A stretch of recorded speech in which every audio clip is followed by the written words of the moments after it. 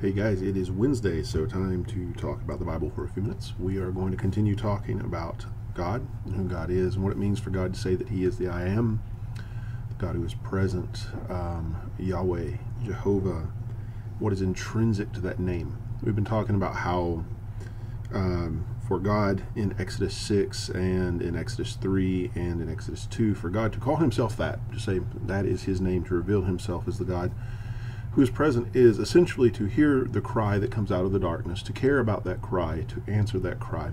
And in answering that cry, what he does is um, God goes head to head with the powers that be over the um, powers that be over the darkness and brings liberation from that.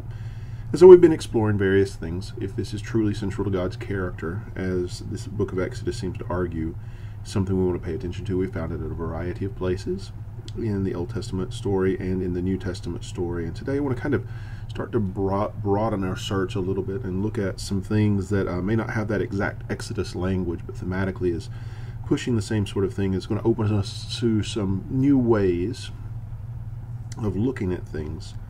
Uh, and particularly, it's going to lead us to this question we've kind of been asking and giving hints of answers that all along. Um, how do we follow such a God, right? So I want to do a little storytelling today. Uh, this week from Exodus 7, 8, and 9.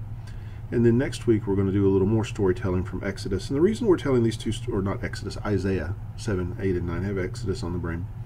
Uh, and the reason we're going to do um, the storytelling is because these are particularly two texts that Matthew uses in the opening chapters of his Gospels. It's going to come up in chapter 1, it's going to come up in chapter 2, it's going to come up in chapter 3, and in chapter 4 or yep, I think I've got that right. Chapter uh, chapter one, three, and four, rather, not chapter two necessarily, although that carries over from one. Uh, he uses these two stories as a way of contextualizing and shaping who Jesus is and what Jesus is doing in the world, and you're going to find some familiar themes. So I just want to take some time to tell the story. And I've told this story before. I think it's been a while. Uh, a lot of you may not have heard it. Many of you may not remember it. If you do remember it, let this repetition be kind of a sign that uh, this is something that needs to be emphasized. It's a fairly big deal for Matthew. It's a fairly big deal in Isaiah and the way the New Testament is working. And so uh, we begin in Isaiah chapter 7. We're not going to go through it in any great detail. I'm just going to kind of tell you the story and draw out some things. And uh, I want to encourage you to sit down and read Isaiah 7, 8, and 9 as we go, or as you have some time a little bit later. But Isaiah 7, if you start back up in uh, verse 1, it begins in the reign of Ahaz. Ahaz is the king in Jerusalem. And this is a point in their history where um, this is a point in their history where Jerusalem and Judah to the south has already had experienced a split from the tribes of Israel in the north. So you have the ten tribes in the northern half that have split from Judah and Benjamin in the southern half. You have the northern kingdom and the southern kingdom. And so, just north of Jerusalem, of Judah, where Ahaz reigns, you have the Israelites. And uh, their king is going to play a major role in the story. And then just north of them, you have the Syrians, and their king is going to play a major role in the story. And you want to make sure, and I'm going to try to enunciate this clearly enough, we want to make sure that we're differentiating between the Syrians and the Assyrians, because they're both going to play a role in the story. So what's going on at the beginning of Isaiah 7 is Ahaz finds out that the uh, Israelite king to the north and then the Syrian king to the north of them, they have teamed up and they are uh, concocting a plot to overthrow him in Jerusalem to install a puppet king who is going to do what they say. And so he's got this problem that he's facing.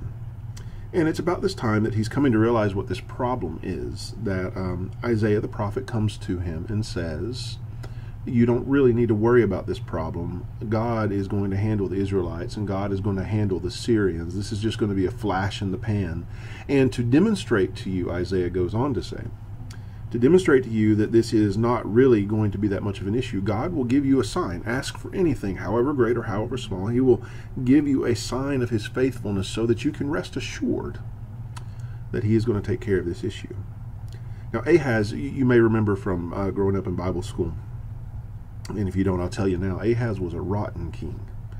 Um, he was faithless, he was inept, he was wicked. All of the bad adjectives that we could assign to a king in the biblical history, we can assign those to Ahaz. He was among the worst.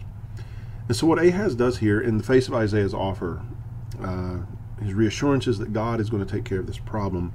Basically, what he does is he responds with faithlessness. He, he feigns piety. He says, "Oh, I would never uh, dare presume to test the Lord." He refuses to ask for a sign, but he's already got a plan cooking. In other words, what Ahaz is doing is he's refusing to trust God to take care of the situation as God says he would take care of the situation. And so this is where, by the way, Isaiah says, well, God's going to give you a sign anyway. Kind of gestures to the side of the room. There's this maiden. The maiden is going to give birth to a child. And before this child is old enough to uh, tell right from wrong, a, uh, Israel and Syria are not going to be problems anymore because God is going to take care of business.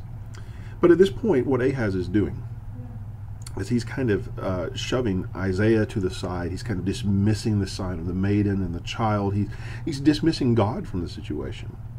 Uh, he doesn't have time for any of that. So what Ahaz does is rather he goes and, and the, the books of history in the Old Testament kind of uh, spell this out more. Um, but he goes rather, instead of trusting God, he goes rather to the Assyrian Empire and enters into an alliance with them.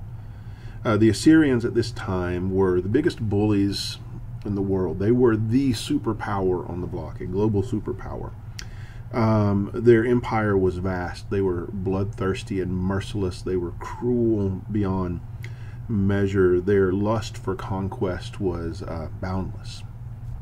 So he goes to the Assyrians because everybody knows in the world when you have a bully, or in Ahaz's case, a set of bullies, the way you handle a bully is you find a bigger bully.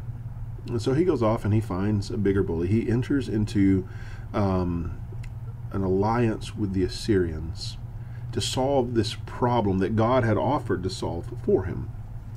And it's at that point that Isaiah comes back to Ahaz. In the last half of chapter 7, all of chapter 8 deal with this kind of response to what Ahaz has done, his, his faithlessness, his trusting in Assyria rather than in the Lord. He comes back to him and he says, You have no idea what you've gotten yourself into. Uh, you have no idea of the door that you have opened for the future of your people because the Assyrians are going to be the Assyrians they're going to do their thing. And you think that they're going to come in and they're going to just take over the uh, the Syrians, the Assyrians take over the Syrians, and they're going to take over the Israelites, and that's what you want them to do. But they got you too, man. And so by the time everything is said and done, we come down to the end of chapter 8, and I just want to read you a little bit of this. Uh, we come down to the end of chapter 8, and I'm scrolling down to it. Uh, Isaiah paints this really stark picture of what life is going to be like because of Ahaz's decision. Uh, I'm just going to start in verse 21 and read down to the end of the chapter. This is Isaiah chapter uh, 8, going from 21 down to the end. It says, And it will pass through it distressed and hungry, and this shall happen. When it is hungry, it will be enraged, and it will curse its king and its gods, and it will face upward or look to the earth. But look, this is where I want you to pay attention distress and darkness, the gloom of affliction, and it will be thrust into darkness. And so it's kind of a summary of this running commentary Isaiah has been giving for the last um, chapter and a half. Because you've opened the door to the Assyrians, because you've rejected God and you decided to go with the biggest bully on the block, prepare to be bullied yourself. And you're going to be conquered, and there's going to be violence, and there's going to be oppression, and there's going to be suffering, and there's going to be darkness and gloom. And at the end of the day, all you're going to be left with is affliction and distress and darkness. And so, what I want to do for a second is I want to pause the story right here, and I want us to think about what is going on, because there's something there's something paradigmatic going on here. There's something um, happening in this story that is common to the experience that we have just as humans. It's a very human story.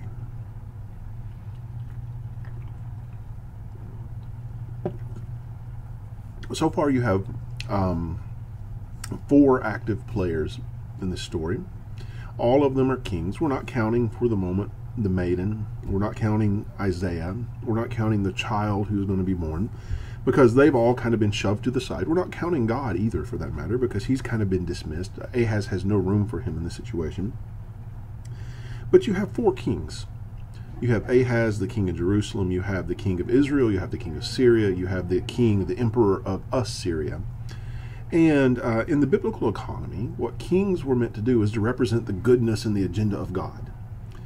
and so uh, you'll remember that initially God was king in Israel, but they didn't want God to be king. They wanted another king. And so the way it was kind of set up is the king is there to represent um, my agenda, God would say. And so we might say that what kings are meant to do is work for the flourishing, uh, the full humanity of the people in their care. They are stewards and so they're supposed to be working for the good of their people, the blessing of their people, the nourishing of their people, the flourishing of their people. They're supposed to be working so that they can live into the full humanity and the goodness that God intended for them. But in a broken world where um, sin has opened the door to death and death reigns and all roads lead to death, what we find most often is, I say most often, what we find always is that we uh, end up with kings like Ahaz and the Israelite king and the Syrian king and the Assyrian king. That is, rather than leading to the goodness and the blessing and the flourishing and the nourishment of their people, uh, rather in various ways seeking their own agendas um, through their own failings, even when they try their best through their own ineptitude, what what we find is they um, reflect the brokenness and the darkness of the world. And so it is precisely in Isaiah 7 and 8, the end result of the actions of these four kings who are supposed to be working for the good of their people, that the people end up in gloom and distress and oppression and affliction. This violence, this suffering, this oppression, all of it comes from the actions of these four kings who are supposed to be working for the blessings of those people.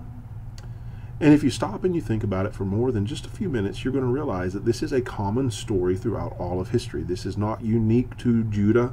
This is not unique to Israel or Syria or even Assyria. This is just the way things work. Um, today is Inauguration Day, so it, it provides a perfect opportunity to think about that. For the last four years, we have had a variation on this story that Isaiah tells in Isaiah 7 and 8. And, um, I need you to hear this clearly for the eight years before that. We had a variation on the story that Isaiah tells in Isaiah 7 and 8. And if you want to trace that even further back, every leader of every nation throughout the history of the world is going to give us some variation of the story that Isaiah tells in Isaiah 7 and 8. Because through Isaiah 7 and 8, what he's doing is he's telling a story about how rulers nations, how power works in a broken world that is controlled by death, where all roads lead to death. This is just the way things are. We are looking for flourishing, we're looking for uh, the good life, we're looking for a way to lean into all of the good things that God intended for us, but we live in a broken world. And so, even at their best, leaders are going to come up short of that goal. We're going to see this more clearly next week in um, Isaiah 36 through 40 when we look at the second story. Um, but here we don't even see um, a best case scenario. What we find more often is we have leaders who just aren't really interested in doing the sorts of things that make for the sort of world that God wants. And so we end up with distress and darkness and those sorts of things. And if you think about it, that's why, at least in my lifetime, and I've, I've read some historical research that would suggest it's been this way a lot longer, um, that's why, at least in my lifetime, every election is the most important election in the world. Um, certainly, that's the way we have phrased or framed rather this one. That's the way we frame the last one. And every time it seems, you know, this is the most important election we've ever had. Everything depends on this election. Either everything is going to get better if you vote for my person, or things are going to get worse if you vote for the other person. And one of the reasons why every election is important, why we think every election matters, why everyone is the most important one in the history of the world is no matter how much you like the person in office before this election, no matter how high your hopes were for that person, you come to the end of their term and those old perennial problems that speak to the brokenness and the darkness of the world, they're all still there even for our best attempts, even in our best intentioned efforts, all of those problems still exist. And so there's there's still poverty. and there's still violence, and there's still oppression, and there's still addiction, and there's still um, all manner of injustice that happens. And this list could go on and on and on and on. For all of our promises, what history has shown us is most of the promises we make about making the world a better place, they end up being empty promises, at least on the level of leadership. And so um, every leader uh, regardless of what they do with it, regardless of where they come from, or regardless of whether they're good or they're bad, um, every leader inherits a broken world. Every leader will, in some way, make some contributions to make that a slightly better place, but they will also contribute to the brokenness of the world. Um, it's one of the reasons why, no matter who's taking office, I'm always kind of interested, even as an Anabaptist who doesn't typically be tend to be political in the, the way the American system thinks of being political. I, I get interested on inauguration day. It's like, okay, what are you going to do? Where are you going to go with this? What's going to happen? But one of the things that the Bible always calls us back to is no matter what they do, and no matter what happens in the brokenness of the world, this person sitting in this office in this city in this nation with these powers vested in them, they're not going to be able to take us to where we want to go. It's always going to end up being some version of the story that we have in Isaiah 7 and 8. And this sometimes can happen because they are wicked, evil, malicious, selfish people with their own agenda. It can also happen with those who are um, coming at the situation with the best of intentions and people of character who just fall under the weight of the struggle to make the world a better, better place. They just can't carry the weight on their shoulders that has been placed there. Um, we always, I use we here as humanity, you know, life may be good for me, but not necessarily for my neighbor. We always end up with some variation on doom, distress, and darkness. And so, what I want you to see is that through um, the end of chapter 8 in Isaiah, what we have going on is a story that is very similar to what was happening in Exodus and a story that is very similar to what was happening in Jesus' day as the Israelites were under the thumb of the Roman rulers and the corrupt local rulers, people like Herod and the Sanhedrin, who were more self interested oftentimes uh, than they were in taking care of the people around them. It's a situation where, in the darkness and the distress and the anguish, that cry would go out as people experienced the darkness. And, excuse me, and it is certainly the case we're going to find in Isaiah that God, who revealed himself as the I am in the book of Exodus, God who heard Abel's blood crying from the ground, God who answers the cry in, in places uh, like the Psalms, God who answers the cry in places like Revelation, uh, God in Isaiah is going to hear that cry. And so, in the midst of the darkness, at the end of Isaiah chapter 8, what Isaiah does is he looks forward to um, a future situation. He tells a story about a future time. And in that time, he, he starts off with this, um, this word, but. Verse 1 of chapter 9, but you are going to have distress and darkness and gloom and affliction, and you'll be thrust into darkness. But um, there will be no gloom for those who were in distress, he says in verse 1 of chapter 9.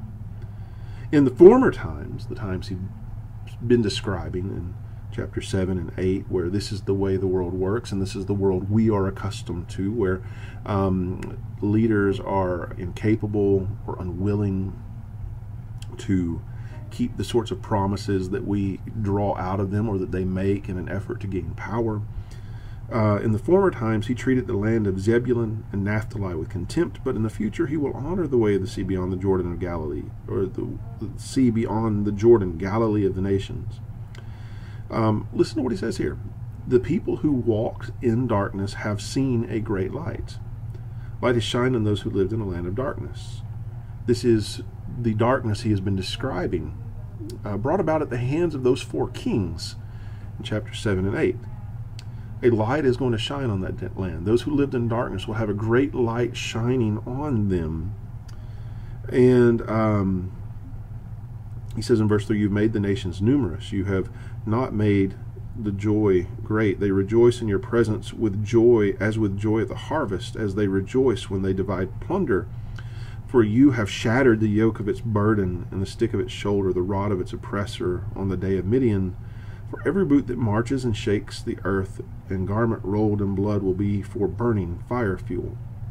Um, down through the end of verse 5, this, this light breaking in on darkness. Those who live in darkness will have this light, and joy will break out. And this imagery of victory, and this imagery of liberation, and this imagery of the reversal of all of the things that it's been talking about in Isaiah 7 and 8, brought on by the inept rulers. And we might ask the question down through verse 5 how is all of this going to happen? Um, certainly, I'm interested in this happening.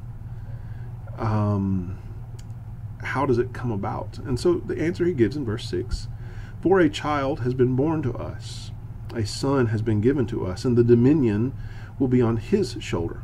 I want you to think about how we talked a minute ago how uh, the leaders of the world, good or bad, are in between, and most of them are a mix. They're somewhere in between. Uh, they ultimately fell because they can't bear the weight that has been placed on their shoulders. But it says, This child that is going to be born, this son that is given to us, dominion will be placed on his shoulders. And ultimately, he's going to be able to bear the weight. His name is called Wonderful, and he is Counselor, and he is Mighty God, and he is Everlasting Father. He is Prince of Peace. And his dominion will grow continually, and his authority, his reign, the area over which he has influence and resides, will, will expand. And to peace there will be no end. And on the throne of David and over his kingdom to establish it, to sustain it with justice and righteousness now and forever. The zeal of Yahweh of hosts will do this. Notice that last line. The zeal of Yahweh of hosts. Yahweh. It's the name he gave at the um, burning bush. It's the name he emphasized in Exodus 6. The I am, the God who is present, the one who hears the cry that comes out of the darkness, enters into the darkness, goes to war with the powers of be over the darkness, and liberates people from the darkness. The God who is present is going to do this. And he is going to do this in this description here by becoming this child. First, it's just a child is born to us, a son is given, but by the time it's done, he is eternal Father, he is mighty God. And, and, and so God himself is going to come in this royal position. He is going to become king. And all of the ways that the um, leaders and rulers, the kings and the presidents and the prime ministers of our world, uh, for not for lack of trying, sometimes have got it wrong. God is going to get it right. And so it says that it's going to be characterized not only by joy or light breaking into darkness, but it's going to be characterized by peace. And peace in the Old Testament is more than just the absence of violence. You know, sometimes um, we think that peace is just this absence of violence where, you know, I would really like to hit you and you would really like to hit me, but we're not hitting each other right now, so that's peace. Um, peace in the Old Testament, shalom, the Hebrew word for it, is. Um, a communal well-being. What you have when things work the way they're supposed to work it's very akin to this notion of righteousness that he talks about a little while later. Righteousness is what's going on when things are working the way they're supposed to. It's a product of reconciliation. It's a product of, of mending those old wounds. It's a product of setting the world right. He says so his reign of peace will never end he will bring justice and he will bring righteousness those two twin terms that we'll talk about more as we go along. But you know it is about setting the world right and getting things back to the way they're supposed to be uh, the way things should be rather than just the way things are. He says god is going to come as king um, in the form of this child and where we're used to kings like ahaz and the Israelite king and the Syrian king and the Assyrian king, where we're used to doom and anguish and those sorts of things as humanity. Uh, the brokenness of the world where injustice reigns and unrighteousness reigns, and we have war rather than peace, and we have sorrow rather than joy, and we have darkness rather than light. God is going to come and He's going to set things right, and He's going to do this as the God who is present, as the God who hears the cries that come out of that darkness that we're accustomed to. Isaiah is telling an Exodus story. It's not Exodus in any strict or formal sense, but the themes are all there. It's the same sort of thing. We have entered into this long darkness. We are accustomed to the brokenness. We have um, no expectation of our leaders being able to give us, or ourselves as a people being able to give us anything other than the brokenness. But God is going to, Isaiah says, at some future time, He's dreaming a dream. Um, some future time, He's going to come and He's going to do what we can't He's going to set right what we have broken and we have failed to fix. He is going to to set the world to rights. And so he's telling this Exodus story, and why it's important is because in Matthew's gospel, and we'll, we'll come back and we'll talk about this more after we do the story from Isaiah next week, the, the second story from Isaiah, uh, is after in Matthew's gospel, he's going to turn precisely to this story uh, in chapter 1 and in chapter 4 and he's going to say, in essence, this is the story you need to pay attention to in order to make sense of Jesus' story. You remember that dream that Isaiah had about the way things would be one day. And everybody from the midst of the brokenness of the Roman Empire with all of the oppression and the boot on their neck and all that, they said, Oh, yeah, we remember that dream. That, that dream. We can't wait for that to happen. And Matthew says it's happening. In Jesus, it's happening. And so Matthew is going to pick up Isaiah's story, point to it, and say, that's what Jesus is doing.